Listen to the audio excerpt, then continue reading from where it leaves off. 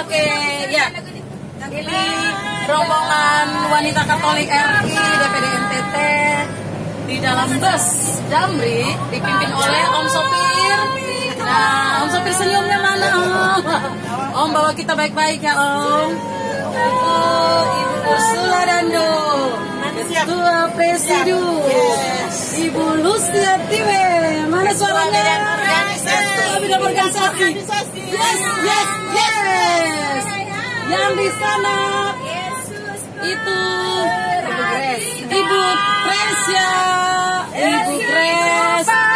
Ibu Maria Ngora. Ya, yang di belakang mana suaranya?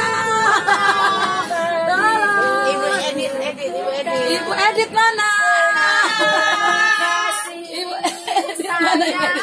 Ibu. Rempong mana? Ibu Rempong. Ibu Rempong. Hai. Ini Pak,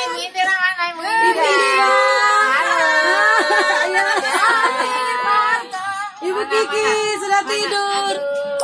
Yang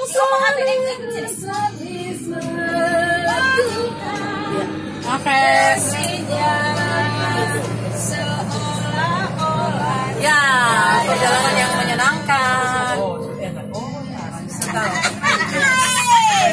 Semoga bisa meninggalkan kita dengan selamat di Desa Koa, Kecamatan Molo Barat, Kabupaten TTS, Wanita Katolik Republik Indonesia, DPDT, dalam kegiatan bakti sosial memperingati hari ulang tahun ke-95 WKRI.